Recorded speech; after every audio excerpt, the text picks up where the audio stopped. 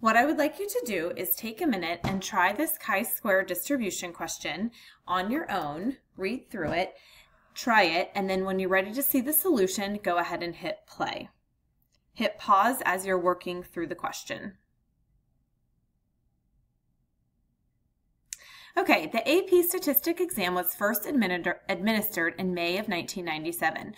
Students' papers are graded on a scale of 1 to 5, with 5 being the highest score. Over 7,600 students took the exam in the first year, and the distribution is as follows on the left. So this right here is the distribution in 1997.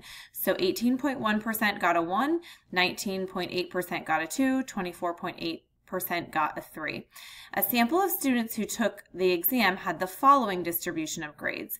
So this right here is a group of students that took it later on, okay? And this is the number of students that got a 1, number of students that got a 2, number of students that got a 3.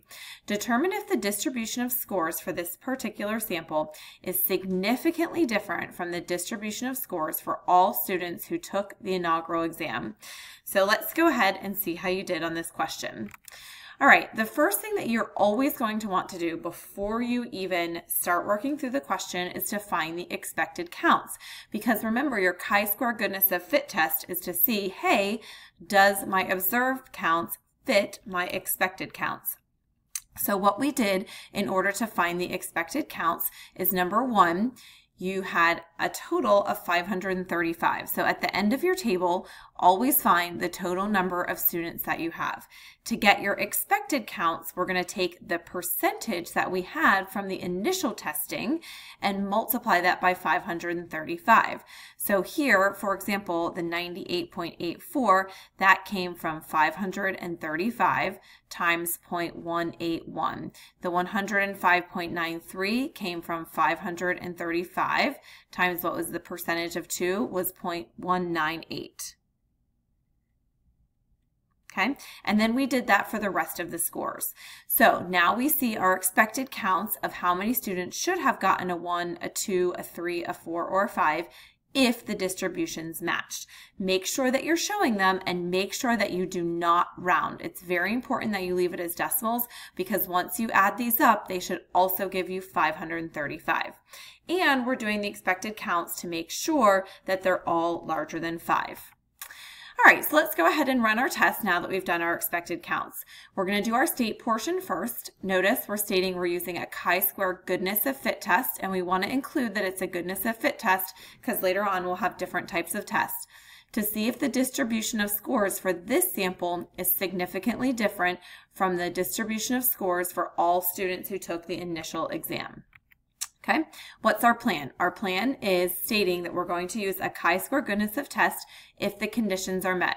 So let's do our conditions. These are all the same that we've done before. Simple random sample of students independence, there's more than, now notice here, okay, we did actually have a number to compare it to. 10 times 535 is 5,350, which is less than 7,600 that took the test. And then remember, we don't have a normal condition, we just have a large counts condition. And from our previous page, all expected counts were at least five we can proceed from there. Now let's go ahead and take a look at our null and alternative.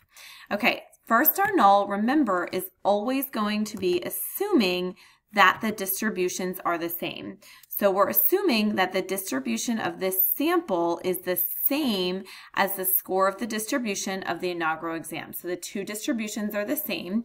The alternative is always going to be that the distribution of this sample is different from the score distribution. And it doesn't mean that all of them are different. It just could mean that one of the counts is different. Okay, now the do portion is easier than what we've done in the past. So the first thing you want to make sure you do is state your degrees of freedom. It's always the number of categories minus one. Okay, then you're going to find your chi-square statistics and your p-value. But keep in mind your chi-square statistic, you're going to get all of that from your graphing calculator. So remember, you're going to go with your graphing calculator, you're going to go to stat, and then you're going to go over to test. So I, or sorry, put your data into list one, put that your, your observed, your data into list two, that's your expected, and then you're gonna go to stat, and you're going to go over to tests and then you're going to go to chi-square goodness of fit test and that's going to give you your p-value your chi-square statistic everything. You do not need to work for it. However what you will need to show for your work is two plugins. I don't care which two they are. They can be the first two the last two whatever.